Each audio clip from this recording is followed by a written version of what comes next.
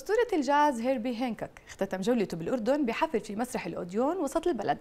وأمضى هانكوك والفرقة الأسبوع الماضي بإجراء ورش عمل توعوية وتعليمية بين الناس مع مجموعات متنوعة من السكان في عمان وجرش وأم قيس وتضمنت المشاركات ورشة عمل للطلاب والمعلمين مع قسم الموسيقى بالجامعة الأردنية ودروس موسيقى الجاز مع المركز الوطني للثقافة والفنون والمعهد الموسيقي وغيرها الكثير. تفاصيل أكثر بنتابعها سوا بهالتقرير من إعداد زميلتنا زين الخطيب.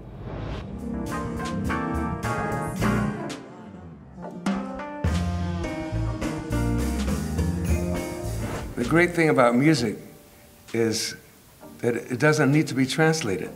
Yeah, it's a universal language. لغة الفن لا تحتاج إلى ترجمة لأنها تتحدث إلينا جميعاً.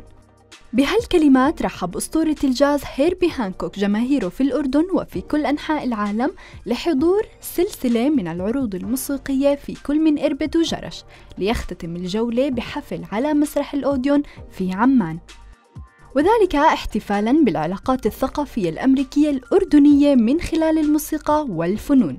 كنا سعداء جدا أن نقوم بجولات في الكثير من المحافظات. وهذه بس يعني هذا مثال من كل الفعاليات الاجتماعات التعاونية بين أمريكا والأردن. ورجعنا كما قلت لك يعني هدف زيادة زيادة التعاون بين بلدينا. فمن القمة إلى أرضنا هذه نقدر شراكتنا العظيمة مع الأردن. فنشكركم ونتمنى أن الجميع يقضي وقت ممتع الليلة. حيث استطاع هانكوك أنه يجمع عشاق موسيقاه من كل مكان في العالم خلال رحلته الموسيقية عبر العقود. فعبر هانكوك عن سعادته في العزف في الأردن وأشار أنه موسيقى الجاز نشأت في الولايات المتحدة. إلا أنها تنتمي الآن إلى العالم كله. فالجاز شكل فني له تطبيقات حقيقية في عالمنا اليوم. والجدير بالذكر الموسيقي هيربي هانكوك هو عازف بيانو وملحن عالمي وكان جزء لا يتجزأ من كل حركة لموسيقى الجاز منذ الستينات. حاصل على 14 جائزة جرامي وجائزة الأوسكار Academy Award winner.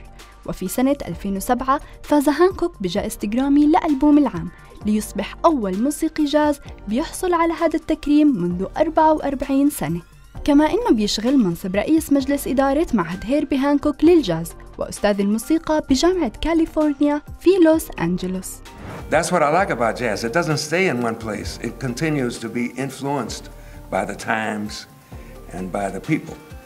And so I'm really happy about bringing amazing jazz musicians from our institute to perform here. You, you will hear them. They are very, very special.